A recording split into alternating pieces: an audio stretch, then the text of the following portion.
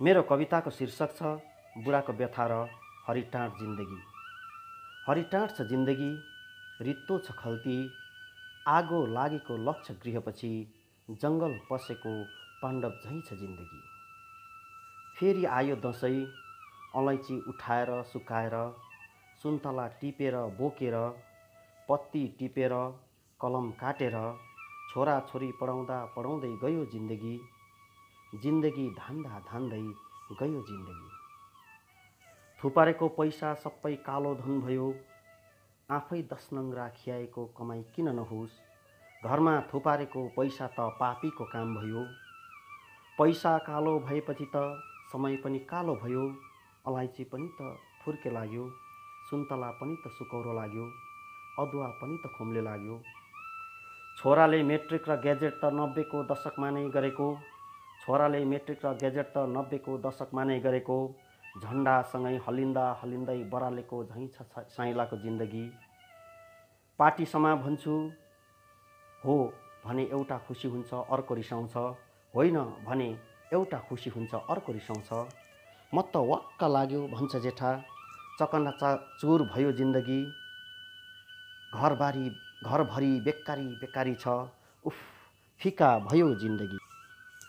यसपालि त टिका लाउँदा हात र मुख मात्र छ है भन्छु छोरी ज्वाइँलाई। पात झरुवा किरा र काउली सुन्तला फुर्के लागेको अलैँचीसँगै खङ्गारियो जिन्दगी। ज्वाइँ तिमीलाई पो नेताहरूले अलिकति भए पनि दियो होला दसैँ मान्ने खर्च। हाम्रो त रित्यो जिन्दगी। ज्वाइँ नराम्रो केही नठान्नु केही नभन्नु ल। सोच्दा सोच्दै गयो बुढाको जिन्दगी। स्ट्राइकमा खाएको चामलको बाँकी यसपालिको बोनसमा छिनाउनै पर्छ।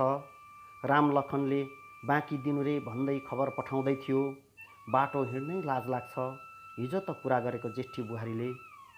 अदुवासँगै खोम्ले लाग्यो जिन्दगी सुन्तलासँगै सुकौरो लाग्यो जिन्दगी अलैँचीसँगै फुर्के लाग्यो जिन्दगी कालो धनसँगै कालो भयो जिन्दगी।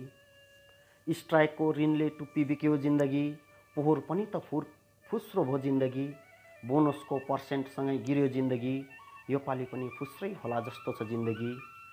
ए हो त ए हो त नार्सी लाग्छ रे बेघर बनाउँछ रे कागजपत्र खोज्छ रे कहाँबाट ल्याउनु? आछामतिर त बेघर छ। आछामतिर त बेघर छ रे हल्लै छ जिन्दगी। एकपल्ट आफैले रोपेको चियाको बुट्टालाई सोध्छु कुलेसोको बुढो कुटमेरो र गगुनको रुखलाई सोध्छु देउरालीको बुढो ढुङ्गालाई सोधौँ भनेको सडक खन्दा भत्कायो अस्ति नै। घर घडेरी ढुङ्गा माटो बाँस खर र खोला नालालाई सोध्छु। सबै सबैलाई सोध्छु म यहाँको हो कि होइन? कसैको घुस नखाई भन्नु तिमीहरूले? मेरो र तिम्रो गहिरो नाता छ कि छैन?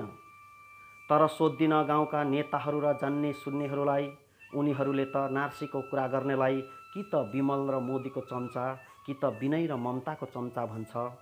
कि त माटो विरोधी जाति विरोधी कि त गोर्खा विरोधी भन्छ बरु आफै एकपल्ट आफैलाई भन्छु नार्सी आयो भने न बेघर हुन्छ जिन्दगी नार्सी आयो भने न बेघर हुन्छ जिन्दगी धन्यवाद।